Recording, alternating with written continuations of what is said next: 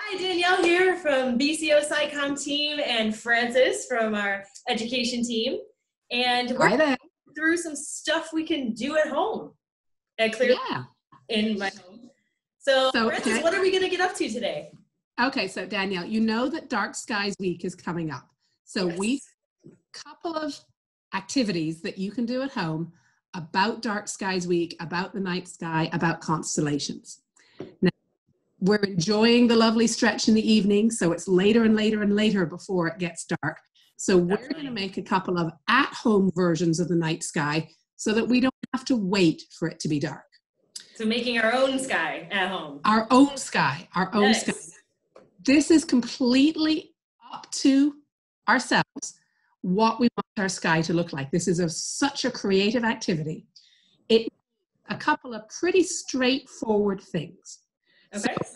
See that list the other day, so we should have some kind of box. yes. Size depends on the type of light that you're going to be having inside the box. So we Okay. need a light source that's going to be our source of starlight. It could be Okay. It could be a mobile phone. It could be one of those battery rechargers. Gotcha. You've got it and it gives out light. It's got to fit in the box. So I think you've got a T box. Yeah, I've just got a, uh, I got two different boxes here, two different sizes we can try out. Um, and Exactly. a torch from a bike, a bike torch. yeah, And uh, any kind of light here. torch. And if your first torch doesn't work, try another one. Okay. work, try another one. Then to make our stars, we're going to use a bit of tin foil and poke some holes it. If you poke a bigger hole, well, does make a brighter star. If you poke a tiny hole, does that make a tiny star? So you need something to poke with, Okay. I got okay? options, so we'll try it out because I've got a fork that's got a little wonky part on it. So I thought, okay, well, Yeah, and then uh, I got a pen here, so we'll see if that works. Yeah. And I've got another pen here and I've got a little pointy needle, literally what you have. If you have a skewer, if you have, I don't know, whatever you got, if you figure that you can make a hole with it, I'd say fingers are probably going to be too big. Okay. The beauty of this is try it and see what you got. Now, if you have an idea of a particular star pattern that you want to make in your tin foil, hey, go for it. A good place to find a couple of those, I found a couple that we. So if we just have a quick look here, here is a draw your own constellation picture. You can find this on spaceweek.ie. And this lets you choose your own pattern and maybe reproduce it in the tinfoil. Yeah, and that's cool because they're all uh, constellations that we can see here from too. Yeah. So this one, you know, the the plow is a saucepan, but it could be also your own style. If you want a slightly bigger version of the sky, this is an SRO resource that shows all the constellations that are visible at the early part of the evening at this time of year. And you can see you can join and make, but if you want to create your own completely constellations, hey, go for it. So, Danielle, you're going to need to stab into your tin foil. Okay. So, just whatever shape tin foil you need to go over the top of the box you have. Okay. Tin foil is pretty easy to rip.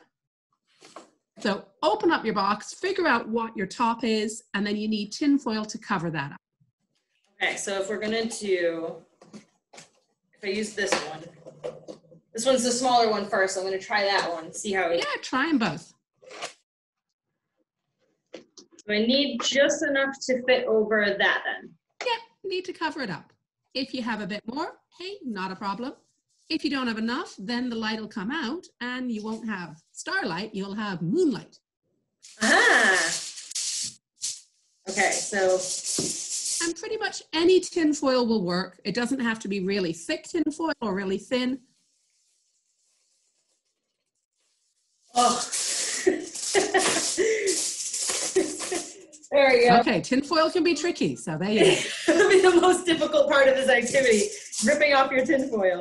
Does it matter if it's the shiny side or the not? Try it. Okay, Try it. the shiny side. So just, do I cover it over like I would? Yeah, cover it over because the tinfoil will lift on and off pretty easily. And then try poking some holes. All right. So, oh, I forgot. I also have a pin. I have like um, a pin from my sewing kit. So I'll try that. That's our my smallest one. Yeah. So, So right, let's go for a constellation then. hole, the light from inside the box is going to be able to come. That's going to be your star. Actually, yeah, the pin. I thought I wasn't even going to be able to see the pin, the hole of a pin on the tinfoil, but actually, it's a pretty decent size. And this is one of those things that you you need to try it to see how it's going to work. If you try it with a really pokey big pen, then you may find that your star is just so bright. Yeah. But try a few different sizes and see what seems to work for you. Okay, so try different sizes now. Yeah, try a couple of sizes as well. Okay, so try the pen next. Whoop, that was a really big hole. Okay. Yeah. So like the tip of the pen is not too bad, but I actually it just the whole pen actually went through the first. Well, that's it. But then what we'll do is we'll stick our light source inside and see what our stars look like. The idea Okay. is that we're showing our own version of the night sky, own light source, and these little starlight holes are going to have to shine up for us to be able to look at them. Now, we're in the daytime, so that's the next bit that's a little bit tricky, is Yeah. how do we get somewhere dark enough for us to to see that? So I'm going to say, Danielle, pop your light source in there, whatever Okay. you're using for a light, Okay. First. and you want some of the light to kind of vaguely go up, but don't panic. Just stick it in there and see how it works. Okay.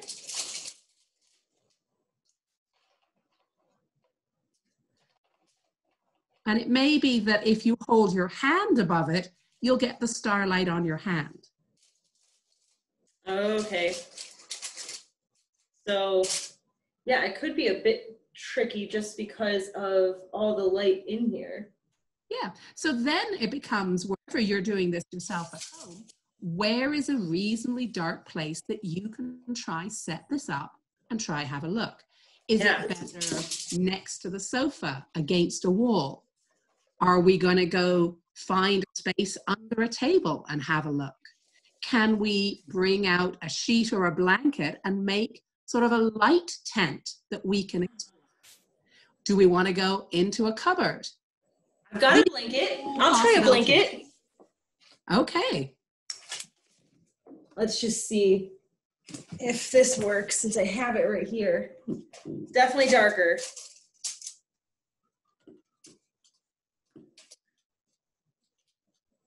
Ooh, I could definitely see more stars for sure. There we go. So we're looking for those starlight to be lighting up, up around, coming out of the box and lighting up. And that's making our little model night sky. Okay. And it's completely up to you how you make this and what it looks like.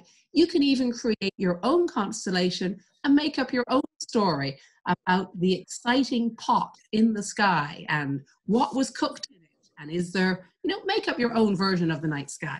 Okay. So that's our first part is to make a night sky version. Very cool. Well, now that I have my own little planetarium, I'm definitely going to find some dark spots and experiment myself here, Frances. Thanks so much. Brilliant. Thanks, Frances. Thank you so much. And check out our website for more details. We'll have links for teacher resources and other things that you can check out while you're at home and looking for new activities.